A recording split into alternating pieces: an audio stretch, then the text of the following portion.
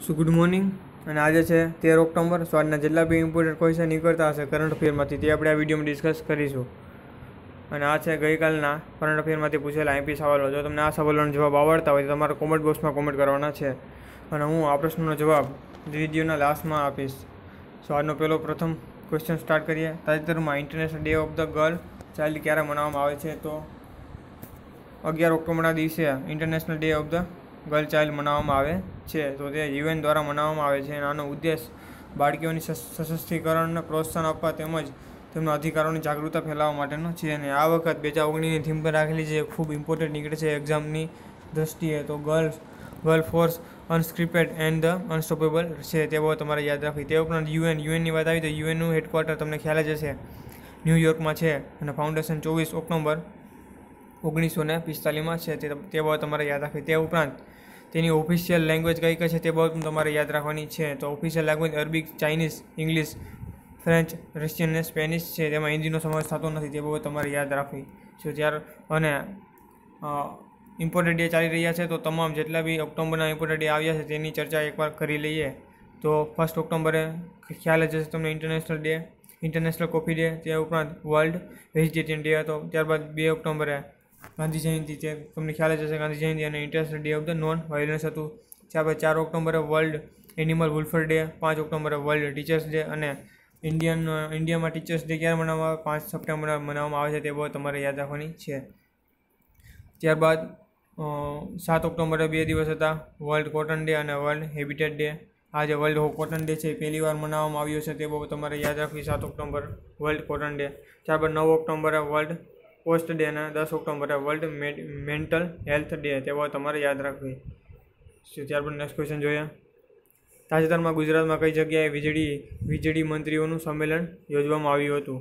તો હા તાજેતરમાં ગુજરાતમાં કઈ જગ્યાએ વીજળી મંત્રીઓ તમામ જેટલા જિલ્લા જેટલા રાજ્યના વીજમંત્રી તેઓ બધાનું સંમેલન યોજવામાં આવ્યું હતું. તો તે કેવડિયા ખાતે નર્મદાના તટે રાખવામાં આવ્યું હતું. સો આ ક્યારે હતું તો? અગિયાર અને બાર ઓક્ટોબરના રોજ કેવડિયાએ રાખવામાં રાખવામાં આવ્યું હતું નર્મ- નર્મદા નદીના કિનારે. આ બે દિવસ તે બે દિવસ તમારે યાદ રાખવાના છે. અગિયાર ને બાર ઓક્ટોબર તે મેન નીકળે છે આમાં. ત્યારબાદ તે શેના માટે હતું? આ સંમેલન તો રિન્યુએબલ એનર્જી સેક્ટર પર ચર્ચા કરવા માટેનું રાખવામાં આવ્યું હતું. સો, ગુજરાત ગુજરાતના ઊર્જા મંત્રી કોણ છે? સૌરભ પટેલ, તમારે યાદ રાખવાનું છે. તે ઉપરાંત કેન્દ્રીય રાજ્યના ઊર્જા મંત્રી કોણ છે? તો આર કે સિન્હા. તે બે વસ્તુ ઇમ્પોર્ટન્ટ નીકળે છે. ગુજરાતના પૂછે તો સૌરભ પટેલ આવશે અને કેન્દ્રીય રાજ્ય ઊર્જા મંત્રી પૂછે તો આર કે સિંહ આવશે તે તમારે યાદ રાખવું. સો, ગુજરાતની વાત આવી તો ગુજરાતની આપણે ચર્ચા કરી લઈએ. એક્ઝામની દ્રષ્ટિએ ખૂબ ઇમ્પોર્ટન્ટ નીકળે છે. સો, ગુજરાત ગુજરાતનું ફાઉન્ડેશન પહેલી મે ઓગણીસો સાઠમાં તો કેપિટલ ગાંધીનગર છે. ચીફ મિનિસ્ટર કોણ છે? વિજય રૂપાણી છે. અને પ્રથમ મહિલા ચીફ મિનિસ્ટર પૂછે તો કોણ? આનંદીબેન પટેલ હશે તે બાબત તમારે યાદ રાખવી. ગવર્નર કોણ છે? આચાર્ય દેવવ્રત છે, જેઓ હાલમાં ચેન્જ થયા છે, તેઓ તમારે યાદ રાખવી કોણ છે? આચાર્ય દેવવ્રત. તેઓ પહેલાં રાજસ્થાનના હતા. અને સૌથી મોટું સૌથી મોટું આપણું એમ પૂછે કે ભારતનો સૌથી મોટો જિલ્લો કયો છે, તો તે પણ આપણો ગુજરાતનો છે. કચ્છ તેવો યાદ રાખવું અને એમ કે સૌથી નાનો જિલ્લો ભારતનો કયો છે, તો માહે આવશે. કયો આવશે? માહે. તે ક્યાંનો છે? પોંડિચેરીનો છે, તે બહુ તમારે યાદ રાખવી. તે ઉપરાંત ભારતમાં સૌથી વધારે દરિયા કિનારો ધરાવતો રાજ્ય પણ આપણું છે ગુજરાત. કેટલા? સોળસો કિલોમીટર દરિયો ધરાવે છે તે પણ તમારે યાદ રાખવી. તે ઉપરાંત ભારતની પ્રથમ રેલવે યુનિવર્સિટી પણ આપણા ગુજરાતમાં છે. ક્યાં? વડોદરામાં તે બહુ તમારે યાદ રાખવાનું રહેશે. ત્યારબાદ આપણે આ બેંક ઓફ બરોડાનું હેડક્વાર્ટર પણ આપણા ગુજરાતમાં છે તે બહુ તમારે યાદ રાખવાની રહેશે. સો નેક્સ્ટ ક્વેશ્ચન જોઈએ.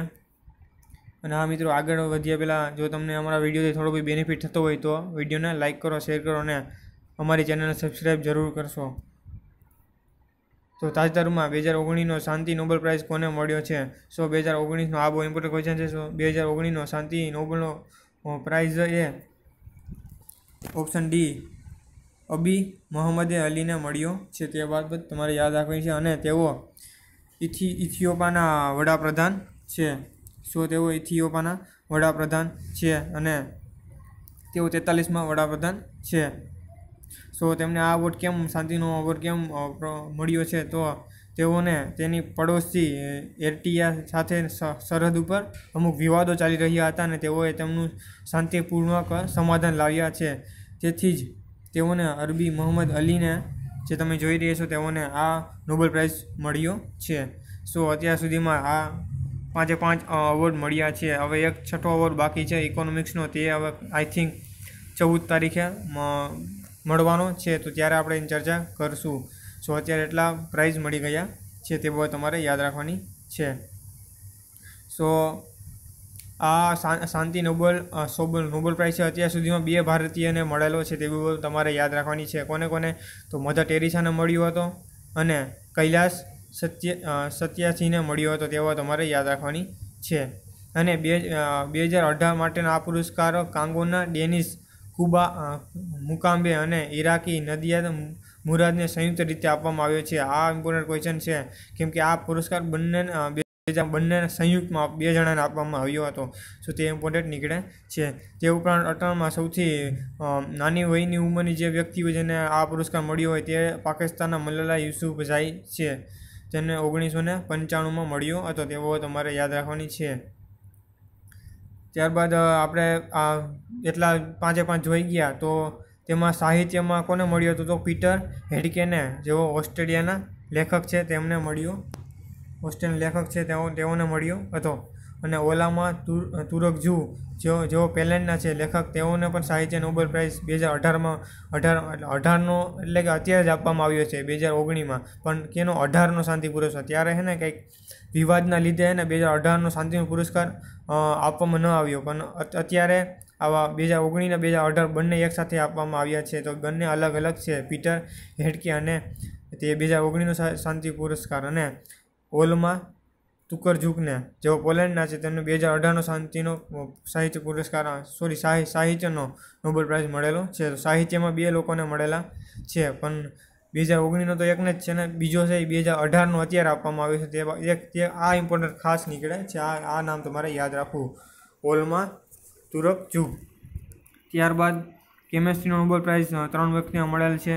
અકીરા યુસાઇનો એમ એમ સટે સ્ટેલની વિસ્ટિંગમ અને જોન્સ બી ગુડિનફને મળ્યો છે.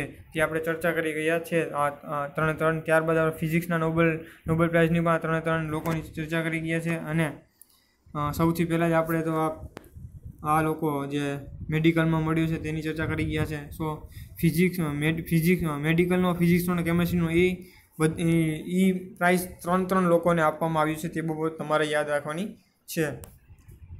બાકી ડિટેલ્સ તમે અહીં જોઈ શકો છો. તો ત્યારબાદ નેક્સ્ટ ક્વેશ્ચન જોઈએ. તાજેતરમાં ગુજરાતમાં કેટલી નવી મેડિકલ કોલેજ બનાવવામાં આવી છે? તો અત્યારે તાજેતરમાં જ ગુજરાતમાં પાંચ જેટલી મેડિકલો કોલેજ બનાવવામાં આવશે, મંજૂરી આપવામાં આવી છે. સો તેમાંથી ત્રણ ત્રણ માટેની તો નિશ્ચિત કરી નાખ્યું છે કે ક્યાં ક્યાં કરવામાં આવશે. તો ત્રણ એટલે એક પોરબંદર, નવસારી અને રાજપીપળામાં કરવામાં આવશે અને બાકીની બે કોલેજ હજી પસંદગી કરવામાં આવી નથી, તે બાબત તમારે યાદ રાખવાની છે. તો અત્યારે જે, જેના, જે જિલ્લામાં કરવામાં આવશે તેની કોસાઈ ગઈ છે. તો ખૂબ ઇમ્પોર્ટન્ટ નીકળે છે. પોરબંદર નવસારી રાજપીપળા, તે પૂછાઈ શકે છે એક્ઝામમાં તો તે તમારે યાદ રાખવાનું છે.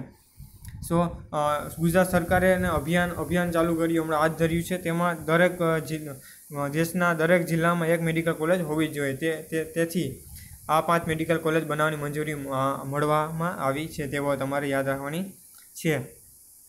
આના લીધે શું થયું છે? તો ગુજરાતમાં પાંચસો વધુ બેઠકો મળશે અને મેડિકલમાં ગુજરાતમાં મેડિકલ બેઠકો વધીને હવે છ હજાર થઈ જશે.